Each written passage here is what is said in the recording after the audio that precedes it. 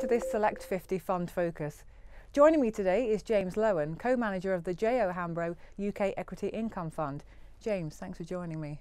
Thanks for having me. Now, to start off with, can you quickly take me through what the, the aims of the fund are and how you run it? So we've been operating for 15 years and the process has been the same throughout that period. We are focused on income, uh, but we're also focused on capital returns. We've got to get the total return uh, and try and see the exceed the market return.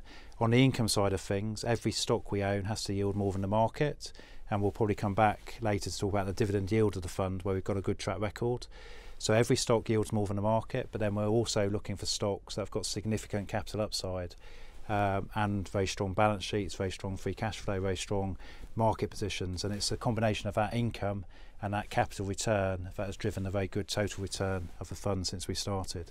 Okay, so I think some investors think that with an income fund you tend to sort of sacrifice capital growth, but you, you don't think that's true. You don't have one to the exclusion of the other. Well, every stock, like I said, has to yield more than the market, and that's been our process since we started. The reason why that works is when stocks go up and the yield comes down, we automatically sell a stock, and that means we're taking valuation risk out of the fund all the time.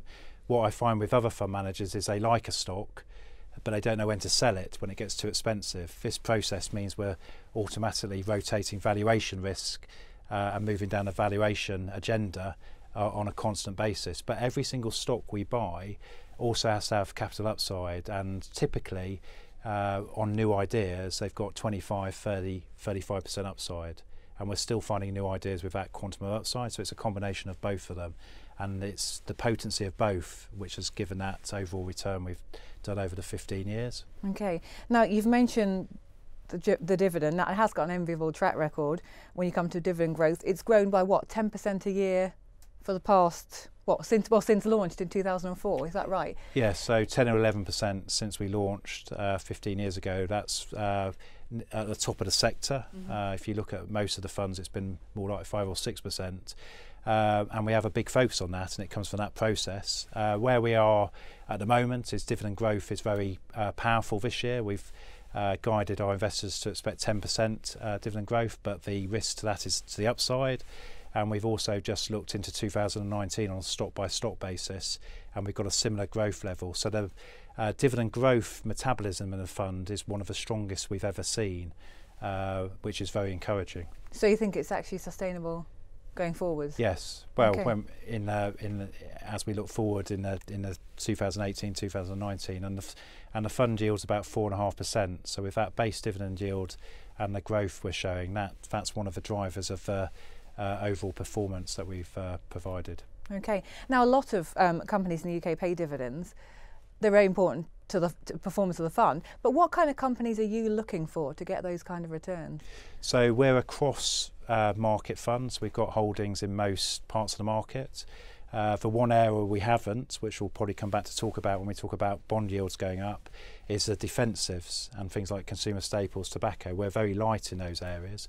But parking those to a side, we've got holdings across the whole uh, market cap strata from oil to banks, other financials, uh, retailers. Uh, so we're across the market uh, uh, fund. We're across market cap as well. We've got 20% of the fund in small cap. So what we look for is some of the points I made earlier, as well as that dividend yield being above the market. All our stocks have to have a safe balance sheet. Uh, we we run a very safe balance sheet throughout the fund. Uh, so that's one of the characteristics that most of the stocks have. Uh, also strong market positions in their sector, good management, strong free cash flow, and all the other valuation measures as well as that dividend have to be very low, which creates that upside I talked about Lots earlier. of factors to juggle then. Okay, so BP and Shell are, I think, your two largest holdings. Do you have any view on the oil price going forwards? Well, we thought it would go up when it was very low, uh, and what we're seeing with OPEC and global growth being a lot stronger than people thought is that the oil price has gone up.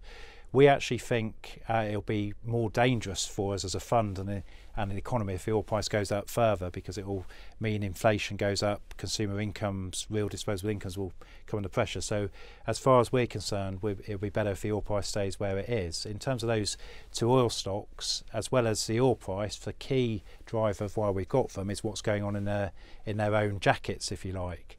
And what's happened is because of that fall in the oil price that we had a few years ago, all these companies have had to cut capex, cut opex, cut costs. Uh, and what we have now, this year is the first year,